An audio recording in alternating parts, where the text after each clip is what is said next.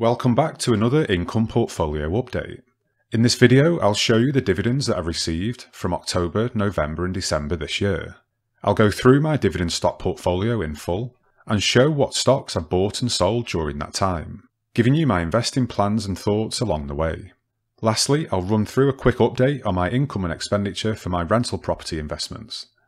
Let's get straight into the numbers. My portfolio currently stands at 57,000 £964 invested. The market value of my portfolio was really interesting over this quarter, as I actually went into the red for the first time since the pandemic. I was only down 0.11%, but since then it has more than recovered. If you are a regular viewer to this channel, you'll know that I don't really pay too much attention to the market value of my portfolio, as I don't ever plan on selling any of the principal. As a dividend investor, I'm only ever interested in the income that the portfolio generates through dividends. What I'm trying to do is build a series of cash flow generating assets that pay me a passive income each month. So let's have a look at what my portfolio is made up of. In the interests of transparency, this is my full portfolio, showing all unrealised gains and losses. A lot of viewers seem to like that I am open and honest about my portfolio, and I don't see the point in trying to hide my losses. I want this to be a true and fair reflection of what I'm experiencing, so that people can relate to my videos. Let's now look at how much I've deposited into my portfolio over the last three months.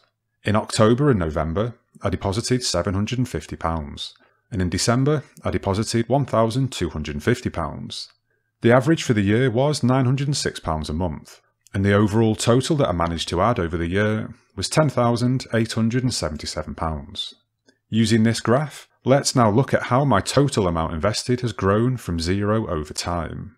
The graph continues to trend upwards, which just shows that I have been really consistent at adding to my portfolio each and every month.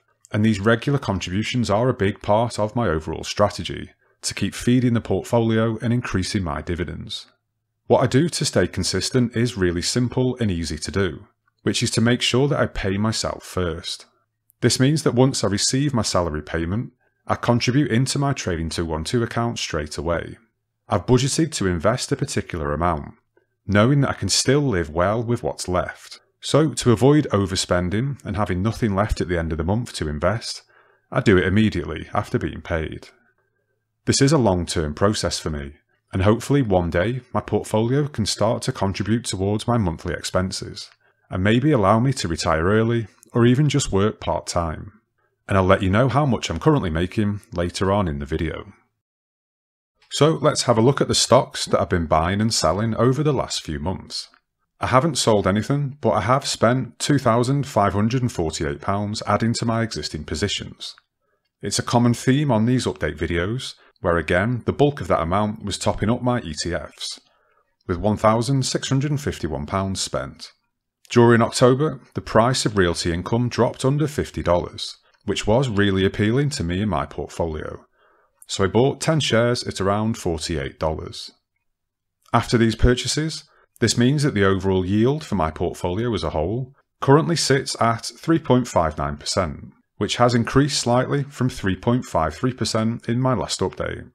This equates to around £2,080 per year in predicted dividends, or £173 per month. There will always be a discrepancy between my actual dividends received and my predicted dividends, just due to the timing of me purchasing shares and then being eligible through the ex-date of the dividends. Now let's look at the dividend income I actually received over October, November and December. October and November were relatively small months, but December was a big one, which I'll come to in a moment. In October, I received £63.23 from four different companies. In November, I received £93.83 pence from six different companies. And in December, I received £286.47 pence from 13 different companies. This was a really motivating month, with some hefty dividends from my ETFs, as they are my largest positions. This graph shows all of my dividends since receiving my first payment in 2020, and we can see that the numbers have been increasing year on year, as I keep contributing and reinvesting my dividends. The average monthly dividend in 2020 was £45.29. The average in 2021 was £77.88.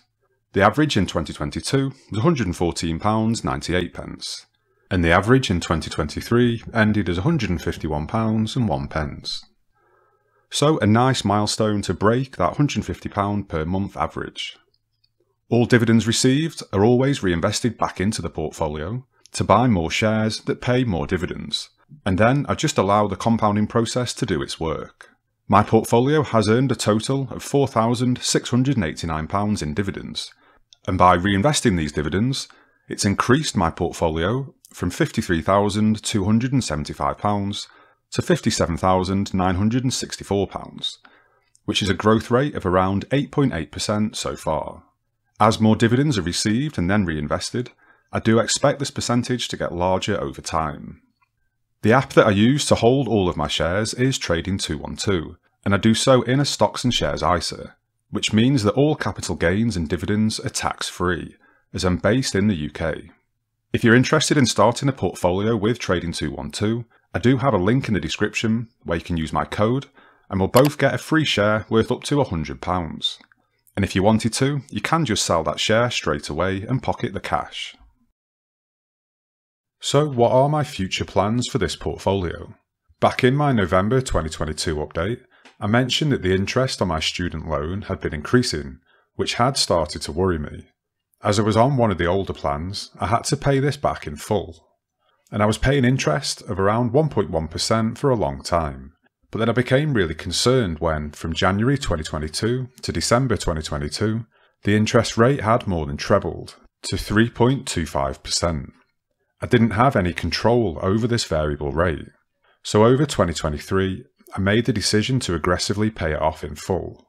It was difficult and took a lot of discipline, but I did manage to pay the remaining £12,000 balance off over the year, which I'm obviously really pleased about. Even more so because the interest rate is now at a crazy 6%.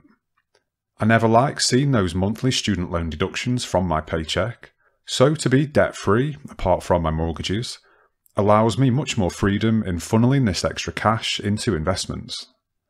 And as a result of paying off my student loan, from 2024, I'm looking to increase my monthly contributions from £750 a month to £1,666 a month, which should see me max out my 20k per year ISA allowance.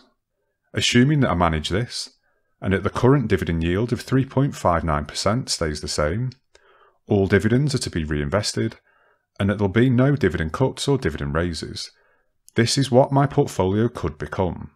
After five years, I could have a portfolio worth £180,000, generating around £521 a month in dividends. And after 10 years, my portfolio could be worth around £326,000, generating around £943 a month in dividends. And looking ahead even further, after 15 years, I could be earning £1,446 a month from a half a million pound portfolio, which does sound a bit crazy. These sorts of numbers really motivate me to stick to my plan and keep investing each and every month. I also invest in real estate and currently own two buy-to-let properties and rent out a secure parking space. So over October, November and December, this is what the numbers look like.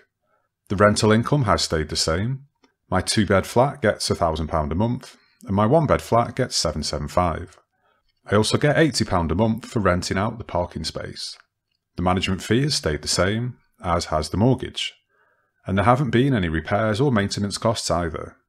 So all in all, a pretty uneventful quarter on the rental side, which is how I like it. Therefore, my pre-tax profit over the period is £3,014. I do document my investing journey on this channel, so if you're interested in following along, please subscribe to the channel to make sure that you don't miss any future updates. And if you have enjoyed this video, please hit that like button as it does help the channel out a lot and encourages me to keep making more of these videos. So you've just heard my investment update, and I hope that I've covered everything that you wanted to hear. But if not, feel free to drop me a question in the comments section below. Also, let me know how 2023 has been for your investing journey. I'll be reading and responding to every message I can. Thanks again for watching, and I'll see you in the next video.